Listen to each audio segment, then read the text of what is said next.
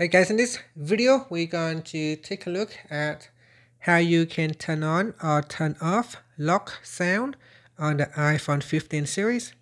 First, let's go back to the home screen by swiping up at the bottom of the screen. On the home screen, tap on settings and then in the settings page, scroll down and in here tap on sounds and haptics.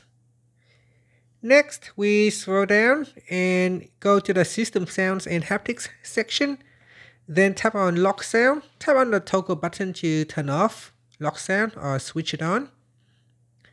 Now you can see here that it is now turned on. If I try to press on the lock button here, you can hear that make a noise when I lock my uh, device.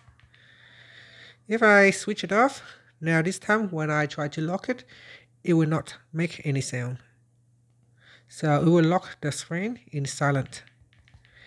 And that's it. That is how you can uh, control the lock screen, the um, lock screen sound.